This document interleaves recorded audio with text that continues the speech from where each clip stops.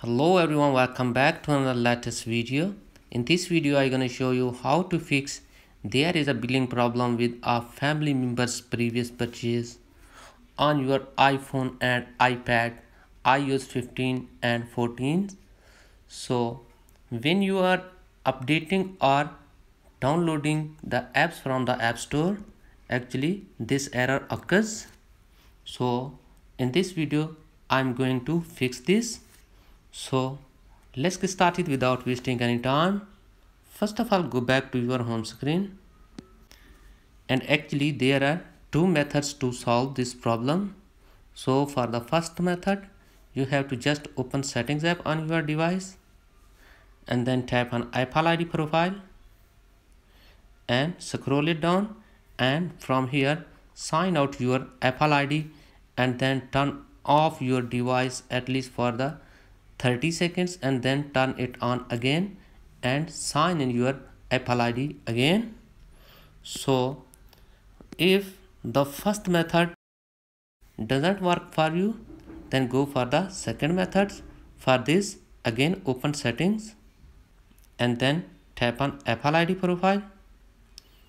From here tap on payment and shipping and then from here update your payment and shipping address.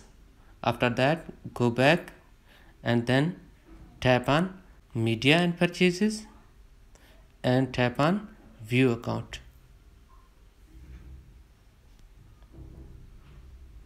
And then scroll it down and here is the purchase history. So tap it and from here make sure that you don't have any unpaid subscription here. So after that go back and tap on manage payments. And from here you have to update your payment method and then go back and then tap on country or region. And now tap on change country or region. And from here you have to select the country related to your credit card. So I'm selecting here United States. Here it is.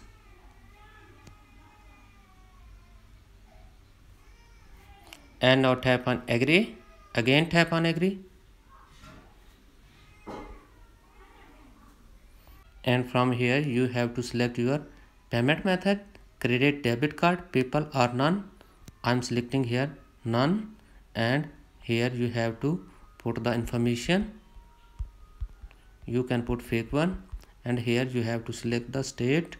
I am selecting here California and here you have to give the zip code or postal code of the state or country.